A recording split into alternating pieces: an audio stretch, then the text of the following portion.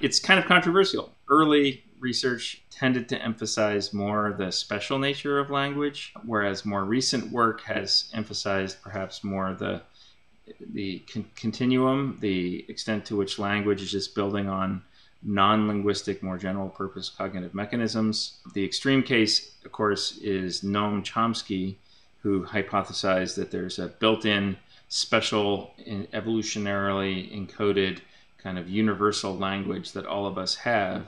And ultimately, uh, that idea was based on, you know, an idea that you couldn't really learn language without having such a thing.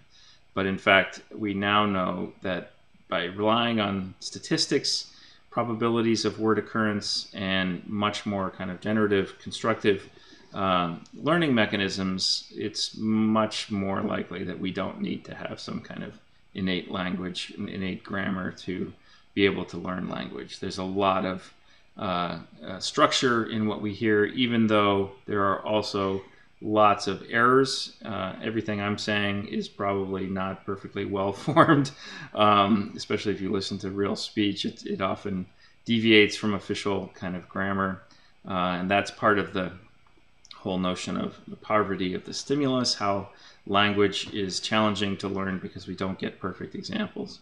But if you kind of blur your eyes and integrate over all the different examples, there's a lot of regularity and structure there that our brains can kind of soak up. And so this notion of kind of rules and regularities in language has been a real focus and one of the areas in which you know we, we have seen debates between people looking at neural network models versus more abstract uh, symbolic models and trying to understand is there something special about that kind of rule like properties of language versus what you would get from a sort of typical neural network that's kind of learning to map from one pattern of activity in one layer to another pattern of activity in another layer. Um, it turns out that you know neural networks do like to have kind of systematic mappings, which kind of look like a rule, but there may be something more explicit, more consciously accessible, and more susceptible to kind of introspection and manipulation in a sort of metacognitive way about some of the rules that we have in language. Not all of them for sure, and a lot of people, if you ask them, don't really know, you know, explicitly the rules of language. They just kind of have them and can use them. But on the other hand, if you ask people like, you know, what do you do when you have a past tense? Uh, most people could probably tell you that, yeah, you sort of add an ed, right? Um, so you have some level of accessibility, and so this kind of nature. What what is going on? Was it do we have some kind of special neural systems that do these kind of rules or is it just you know regular regular networks of neurons these are the kinds of deep questions that language research has really explored over the years um, and i think we don't really actually have the full story on that at this point it's actually become a more recently a much more active area of research again. And the current generation of large scale you know very powerful AI models actually still suffer from limits in their kind of generativity and systematicity uh, in in these kinds of rule-like domains that you know were the subject of these debates uh, back in the 80s and 90s, and so it's kind of deja vu all over again in terms of people who've been in the field for a long time. Uh, these same same kinds of issues are coming back up, and I think we really don't yet have a synthesis that allows us to understand kind of both of those perspectives the kind of more symbolic, explicit rule like kind of properties. Um, in, integrated with our understanding of the underlying neural mechanisms, which you know we know a lot more about, as you can see from this class. How do we get a picture that kind of integrates those two things? So when we talk about systematicity, um, we inevitably uh, talk about this kind of open-ended generative nature of language. And, you know, here's a sentence structure, adjective, adjective, noun, verb, adverb. Uh, that's uh, a very abstract description of the following famous example sentence. Colorless green ideas sleep furiously. This was, I think, due to Chomsky. Um, and, and it was introduced as an example of something that is essentially purely syntactic, something that has no semantic meaning whatsoever, essentially like a word salad. Um, and uh, and yet we can understand it. We can say that's a valid sentence. We can verify that it's syntactically correct, even though it has no meaning whatsoever. And so this is a demonstration of the idea that we do have some kind of pure rule-like syntactic ability that can be applied to any combination of words. On the other hand, when you actually process this sentence, you're inevitably kind of representing some kind of semantic interpretation. And the, the big question is to what extent is that automatic semantic kind of encoding actually contributing to your overall ability to judge the validity of that sentence? And certainly there are, in addition to kind of syntactic effects, there are certainly semantic effects. People are faster and more accurate to, to judge sentences as being uh, correct if they also make sense semantically.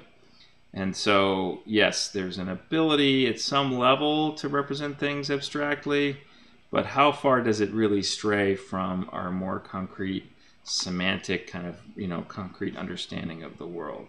And so this this sentence here may be understood in terms of newly formed colorless uh, I mean green is is newly formed, bland is colorless, ideas are inexpressible in an infuriating way.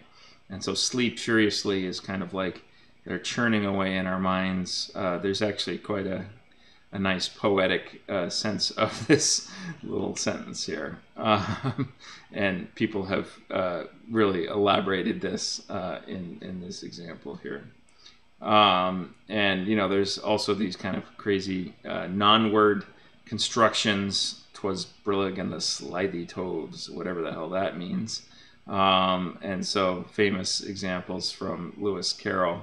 Um, but you know, there's some kind of overlap there. There's some kind of brilliant, brillig, slithy is kind of slimy. You know, these things kind of have uh, overlap in a distributed representation sense, and maybe that's important for how we actually process those things. So again, a lot of interesting questions about these dividing lines between kind of pure structural syntactic understanding versus kind of semantic knowledge. Here's a little bit more about uh, this important point about uh, time and language. Uh, these kind of wordles are increasingly popular and kind of a nice way of representing a concept as a kind of distributed representation. I think they're one of the reasons they're so appealing is they're kind of a, a nice encapsulation of what it feels like to have a distributed representation in your brain. All these different words that all kind of overlap with each other, all kind of superimposed together.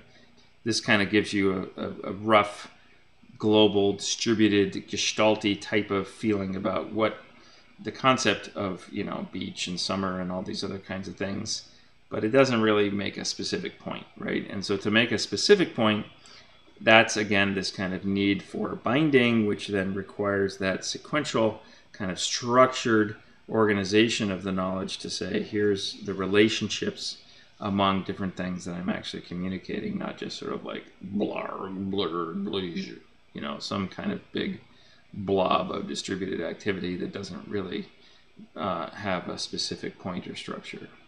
There's another kind of very compelling example of these distributed nature of our word representations, which can metaphorically be extended to these kind of larger distributed representations of semantic knowledge. Uh, you may have received this in the email, maybe not, maybe you're too young. Uh, this went around a while back, but maybe you've seen it before. Uh, it's quite amazing. You can start reading this, and it's like, wait a second, I can actually understand what I'm reading.